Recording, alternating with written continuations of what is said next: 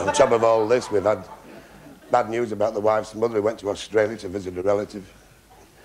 Apparently, she went swimming off the beach, Bondi Beach, and she was attacked by a great white shark. The hospital in Sydney did all they could. They worked in relays throughout the night, but it was too late. The shark died.